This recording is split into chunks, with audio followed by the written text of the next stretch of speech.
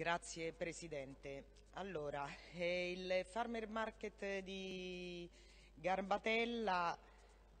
è a me molto caro perché eh, io conosco gli operatori, i contadini che ci lavorano da tantissimi anni quando prima era a Testaccio e forse qualcuno ancora prima quando eh, mettevano i propri banchi al CAE prima del 2009.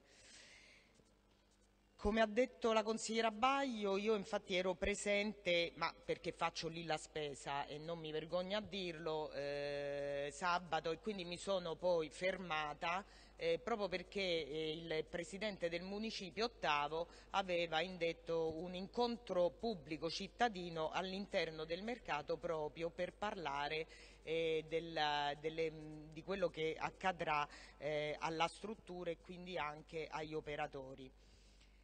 Io devo dire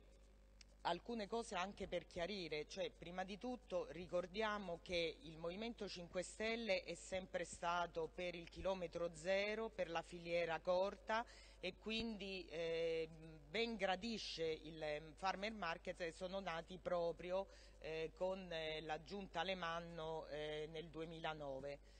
Ehm, devo dire che eh, molte volte ehm, queste strutture magari sono state date non con degli affidamenti o mm, comunque in brevi periodi sono stati dati per affidamenti diretti, invece noi sappiamo benissimo, come ho tentato di spiegare sabato scorso, che ogni struttura del, eh, di Roma Capitale va messa a bando, quindi questo è sicuramente una eh, pietra ferma in questo cammino. Quindi ci sarà un bando in cui gli operatori economici, i contadini potranno partecipare in associazione, non in associazione, poi vedremo, e comunque quella struttura verrà eh, quindi affidata al vincitore. E il Movimento 5 Stelle ha anche fatto, come ha ricordato prima l'assessore Cafarotti, un nuovo regolamento dei farmer markets proprio per mh, sottolineare l'importanza di questo tipo di mercato per eh, l'amministrazione 5 Stelle. E proprio nell'ultimo articolo eh, vengono indicati tra i farmer market che rimarranno in vita vengono proprio indicati, viene proprio indicato quello di Garbatella. È importante chiarire una cosa, gli operatori che oggi ehm,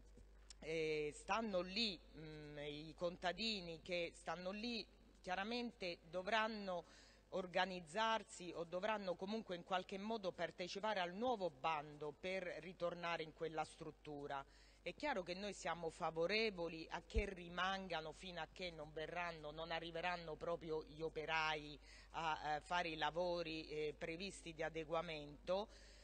però è chiaro che devono sapere che eh, non tutti, se non sono vincitori, non tutti entreranno. È per questo che noi, ehm, io ho posto l'accento, anche se sono stata criticata sabato scorso, sul fatto che ci possono essere, verranno messe un, una, delle aree come abbiamo visto dall'atto il municipio dovrà indicare delle aree dove eh, i eh, contadini potranno esporre e vendere i loro prodotti. Questa cosa deve essere vista con favore perché io ricordo che eh, non sono solo due i, mercati contadini, ce n'è anche un altro, ad esempio all'Eur, eh, sul terreno di Eurospa, il velodromo, accanto al velodromo, il sabato vengono degli agricoltori che vendono i loro prodotti all'aperto nessuno dice niente, c'è tantissima gente, anzi benvenga nel quartiere Eur eh, una mm, cosa del genere perché non ci sono mercati, anzi questo lo ricordo all'assessore Cafarotti e quindi eh, si può fare. Invece mi è dispiaciuto vedere che questi operatori, un po' diciamo così sobillati un po' dalla, mm, diciamo, dall'area, un po' dal nervosismo che c'era nell'area, non hanno quest previsto questa ulteriore possibilità perché è chiaro che potranno continuare a, a vendere i loro prodotti anche in un'area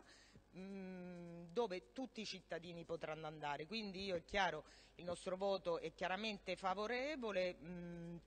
come avevamo detto in quell'occasione eh, c'è una condivisione di tutte le parti politiche, è chiaro che è importante che gli uffici eh, verifichino eh, una proroga perché eh, bisogna anche eh, indicare, capire il titolo per cui eh, della permanenza, però insomma noi speriamo che vada tutto a buon fine perché è chiaro, noi riteniamo che il servizio reso dagli operatori a chilometro zero sia importantissimo per i cittadini e per il territorio.